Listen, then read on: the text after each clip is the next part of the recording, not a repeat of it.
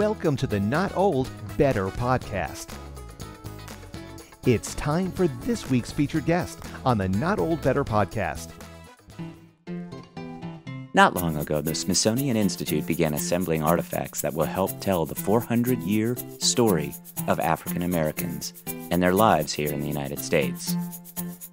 Director Lonnie Bunch, the National Museum of African American History and Culture, involved from the start, collecting thousands of artifacts.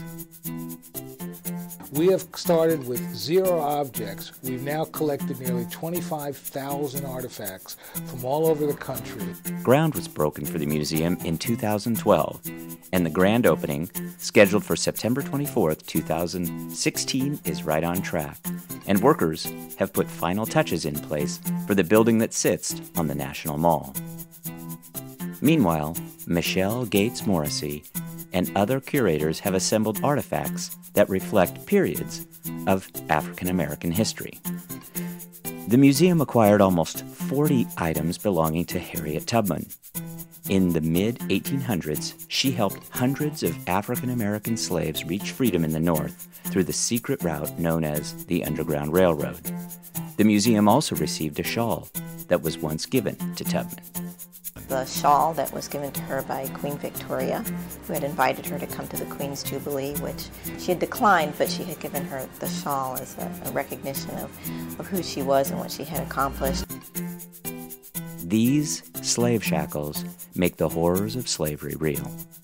Director Lonnie Bunch says these painful chapters of the history of slave life that we must will tell be told. a story that on the one hand will make you angry about what happened to people, but on the other hand, it'll inspire you about the ability of America to perfect itself, to right a wrong. African Americans in film, music, and dance will also be a permanent exhibit. Curator Dwandalyn Reece located items from the late actress and singer Lena Horne. She was the first black performer who was signed with a major Hollywood studio. Reece says the arts have been a path out of oppression for many African Americans.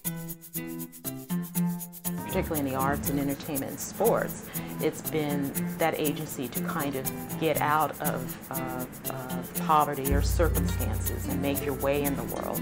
As the museum opens this weekend, it will give more visitors moments like the ones I experienced earlier today when dancer Lauren Anderson and her historic ballet toe shoes were enshrined in the National Museum of African American History and Culture. Now that the museum is open, please visit and download the NMAAHC mobile app as a complement to your on site museum experience at iTunes and Google Play. You can visit the website at nmaahc.si.edu.